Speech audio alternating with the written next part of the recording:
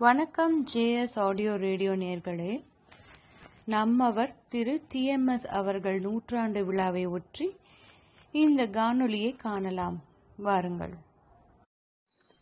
வணக்கம். நான் உங்கள் புவனா வெங்கட் பேசுகின்றேன். தெய்வ பாடகர் இசை சக்கரவர்த்தி டிஎம்எஸ் அவர்களின் நூற்றாண்டு விழாவிற்கான சிறப்பு பதிவு இது.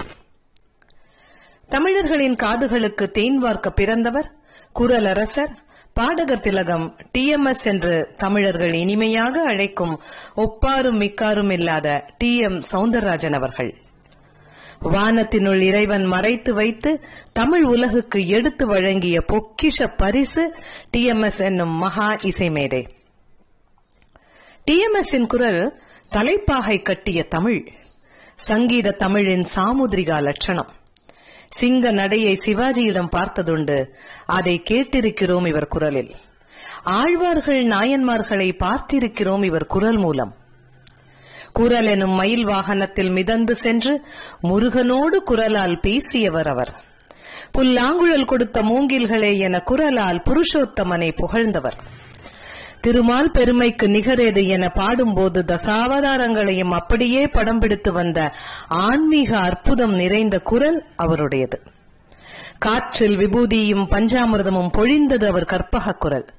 திருவிளையாடல் திருவருட்செல்வர் பட்டினத்தார் அருணகிரிநாதர் படப்பாடல்களை உச்சரிப்பு அர்ச்சனையால் நெஞ்சில் சன்னிதான தமிழ் தந்தவர். எம்ஜிஆருக்காக பாடும்போது ஓர் ஆயிரம் உற்சாக மின்னல்கள் துள்ளி குதிப்பதை உணர வைத்தவர். சிவாஜிக்காக செதுக்கப்பட்ட சோகங்களை அவர் பாடும்போது சொல்லாமல் கொள்ளாமல் ஓடி வந்து கண்களில் பனித்திரை கட்டிய குரல். நட்சத்திரங்களையும் கதாபாத்திரங்களையும் அகக்கண்ணில் அடையாளம் காட்டுகின்ற தமிழ் சித்து அவர் குரல். பாசமும் வீரமும் பாட்டிலே குழைத்து நிலாச்சோறு தந்த குரல். இந்த பாட்டு பாசங்களை எல்லாம் இன்று நினைத்தாலும் பிஞ்சு குழந்தையாய் மனம் மாறுகின்றதே. தத்துவ பாடல்களை பாடும்போது பாத்திரத்தின் இதய துடிப்பையும் பாடலாசிரியரின் ஆத்ம துடிப்பையும் உரிய சங்கீத சாகசத்துடன் குரல் கணினியில் சுமந்து வந்து காற்றின் செவி வங்கிகளில் சேர்த்து சென்றவர். மதுரையில் சாதாரண குடும்பத்தில் பிறந்து வளர்ந்து தனது நவரசம் ததும்பும் பாடல்களால் உலகையே வலம் வந்தவர் தூகுலுவ மீனாட்சி ஐயங்கார் சவுந்தரராஜன் என்ற டி எம் சவுந்தரராஜன் அவர்கள். ஆறு தலைமுறைகளுக்கு பாடியவர் அவர்.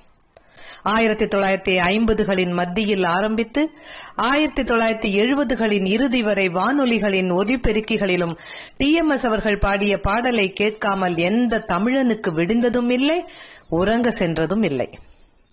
பாட்டும் நானே பாவமும் நானே என வாசிக்கும் போதே டிஎம்எஸ் குரல் காதில் ஒலிக்கிறதல்லவா? அதுதான் டிஎம்எஸ் தமிழ் சினிமாவின் தன்னிகரற்ற பாடகர். இன்று வரைக்கும் இவருக்கு ஈடு இணையான இன்னொரு பாடகர் தமிழ் சினிமா கண்டதில்லை என்றுதான் சொல்ல வேண்டும்.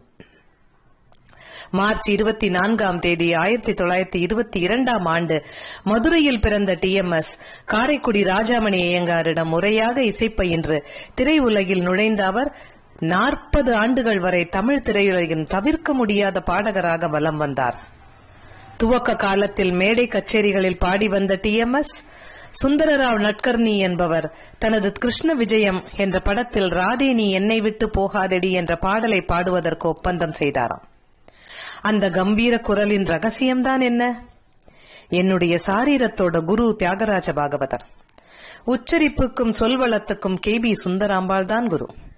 பாவத்துக்கு எம் எஸ் சுப்பலட்சுமி அம்மாதான் குரு என்று முன்னோர்களை போற்றி வணங்கியவர் டி எம் எஸ். இவருடைய குரலை தெய்வ குரல் என வர்ணிப்பார் டாக்டர் ஜேசுதாஸ்.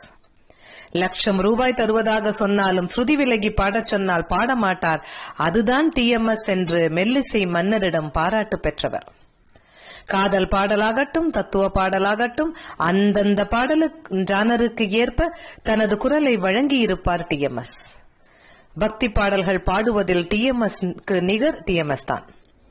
அருணகிரிநாதர் படத்தில் வரும் முத்தை தருவத்தை திருநகை என்ற அருணகிரிநாதரின் திருப்புகழை பாடியதோடு அருணகிரிநாதராகவே தோன்றி நடித்தவர் டி எம் எஸ். அருணகிரிநாதரின் குரலில் திருப்புகழை கேட்கவில்லை என்ற குறை அதன் மூலம் நமக்கு நீங்கியது. குறிப்பாக முருகன் பாடல்களை டி எம் எஸ் அவர்கள் பாடும்போது பக்தியின் பரவசத்தில் மயங்காத முருக பக்தர்களே கிடையாது. கற்பனை என்றாலும் கற்சிலை என்றாலும் உள்ள முருகுதையா முருகா அழகென்ற சொல்லுக்கு முருகா மண்ணானாலும் திருச்செந்தூரில் மன்னாவேன் போன்ற பாடல்கள் விடிந்தும் விடியாமல் அருகில் உள்ள கோவில்களிலும் கடைகளிலும் இருந்தும் கேட்ட அந்த மதுர குரல் பெரும் நிம்மதியையும் உணர்வு பெருக்கையும் நிகழ்ந்த அந்த குரல் மிகவும் அழகானதாக விடிந்த காலையும் நம் பால்யத்தையும் இன்றும் நினைவுபடுத்தும் குரலாக அல்லவா இருந்தது? பத்மஸ்ரீ கலைமாமணி பேரவை செம்மல் குரலரசர் இசை சக்கரவர்த்தி போன்ற ஏராளமான விருதுகளை பெற்றவர். மிகச் சிறப்பாக ஹார்மோனியம் வாசிக்கும் வல்லமை கொண்டவர். இரண்டாயிரத்தி இரண்டில் தமிழ்நாடு இயல் இசை நாடக மன்ற தலைவராகவும் நியமிக்கப்பட்டவர். உரத்த குரலும் அழுத்தமான பேச்சு வன்மையும் கொண்ட சிவாஜி பாடல்களுக்கு அடி வயிற்றிலிருந்து குரலை எழுப்புவார். எம்ஜிஆரின் சன்னமான குரலுக்கு கண்டமும் நாசியும் இணையும் இடத்திலிருந்து பாடுவார். ஜெய்சங்கர் ரவிச்சந்திரன் முத்துராமன் சிவகுமார் நாகேஷ் என இன்ன பிற நாயகர்களுக்கு கண்டத்திலிருந்து சில ஃபார்முலாவில் பாடி அசரடிக்கும் திறமைசாலியாக உலா வந்தவர் டிஎம்எஸ் பாடல்களை பாடுகிற போது இசையமைப்பாளர்கள் சொல்லிக் கொடுத்தது போல் நிற்காமல் பாடலை மெருகேற்ற பெரும் சிரத்தை எடுத்துக் கொள்வாராம் டிஎம்எஸ் அதற்காக பாடலோட இசை அம்சங்களை மட்டுமல்லாமல் படக்காட்சியின் சூழல்களையும் இயக்குனரிடம் தேட்டு தெரிந்து கொண்டு பாடுவது அவர் குணம். இனிய நட்பான இசையமைப்பாளர் நன்று என்று சொன்ன பின்பும் தனக்கு திருப்தி வரவில்லை என்றால் மீண்டும் ஒருமுறை சந்தர்ப்பம் வேண்டி பாடிய பாடலே இன்றும் நாம் கேட்டு மகிழும் எழுச்சி பாடலான நான் ஆணையிட்டால் என்ற பாடலாகும். மெல்லிசை மன்னர் யசுநாதன் தான் பாடி படமாக்கப்பட்ட பின்பு காட்சியை பார்த்துவிட்டு பொருந்தாது என்று மறுத்து அண்ணன் டிஎம்எஸ் தான் பாட வேண்டும் என்று பிடிவாதம் பிடித்தாராம் சிவாஜி. சிவாஜியின் வாயசைவுக்கு ஏற்ப திரையை பார்த்து பாடிய பாடல் பாலூட்டி வளர்த்த கிளி என்ற பாடல் என்று மெல்லிசை மன்னர் எம் எஸ் விஸ்வநாதன் அவர்கள் இசை விழா ஒன்றில் டிஎம்எஸ்ஐ புகழ்ந்தார். அப்படி வாயசைப்பை உள்வாங்கி உணர்வை கூட்டி பாடுவது மிகவும் நுணுக்கமான வேலை. அதை ஒரு போட்டியாக எடுத்து வேள்வியாக எடுத்து சாதித்தவர் டிஎம்எஸ் கலையுலகில் பெரும் புகழுக்குரியவர்களாக இருந்த சிலரில் டிஎம்எஸ் பெயர் என்றென்றும் நினைக்கத்தக்கது போற்றத்தக்கது. அவர் குரல் குயில் சொத்து என்பதை காற்றறியும் தமிழர் காதறியும்.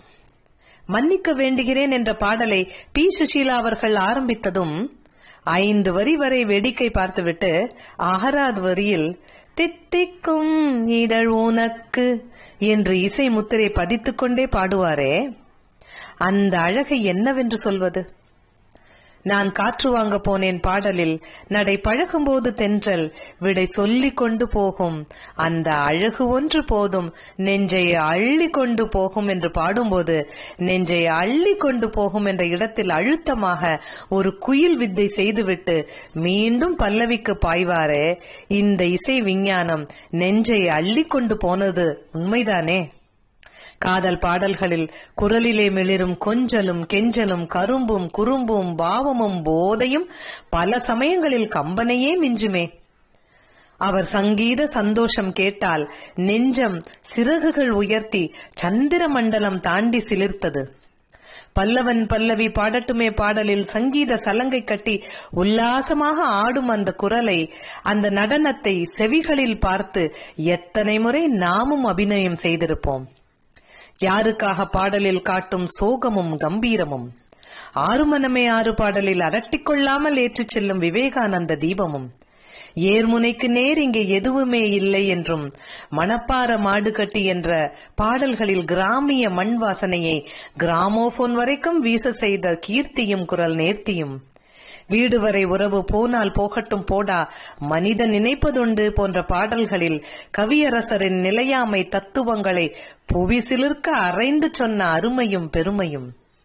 தமிழை பிழிந்து சோகத்தை சொன்ன காவிய தரமும். தேவனே என்னை பாருங்கள் பாடலில் குரலில் தெரிந்த உருக்கமும் ஒளி தாகமும். அந்த நாள் ஞாபகம் நெஞ்சிலே வந்ததே என்ற அந்த பாடலில் எந்த இரும்பு மனதையும் ரகசியமாக அழவைக்கும் ஏக்க பெருமூச்சும். அச்சம் என்பது மடமையடா என்ற பாடலில் அவர் குரல் கற்றுத்தந்த குதிரை ஏற்றமும் வாழ்வீச்சும். எங்களுக்கும் காலம் வரும் காலம் வந்தால் வாழ்வு வரும் என்று நம்பிக்கை விதைத்தது அவரின் குரல். தூங்காதே தம்பி தூங்காதே என்று உசிப்பி விட்டது அவர் குரல். ஏரிக்கரையின் மேலே போறவளே என்ற கரைக்கும் அதோ அந்த பறவை போல என்ற கடலுக்கும் நெஞ்சமுண்டு நேர்மையுண்டு என்று குதிரை வண்டியிலும் பாரப்பா பழனியப்பா என்று மாட்டு வண்டியிலும் நம்மை ஏற்றி பயணிக்க வைத்த பாட்டு வண்டிக்காரர் அவர். இவர் போல இன்னும் இன்னும் எத்தனையோ எடுத்துக்காட்டுகள். சங்கீத சரித்திரத்தில் காலத்தில் கலைந்து போகாத குரல் இலக்கியங்களாக காற்றும் தமிழும் உள்ளவரை இந்த ஞாலத்தை ஆளும்.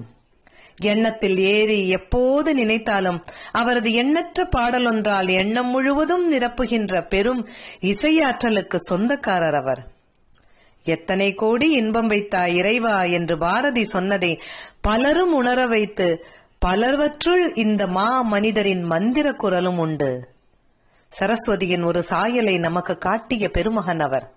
தன் திறமைக்கு ஏற்ப புகழும் பொருளும் பெயரும் ஈட்டி தமிழக கோடான கோடி மனங்களில் இடம்பெற்று உலகம் முழுவதும் வாழ்ந்து வந்த இசை மேதைக்கு இசை சக்கரவர்த்திக்கு இந்த புகழாஞ்சலி சமர்ப்பணம். நன்றி வணக்கம்.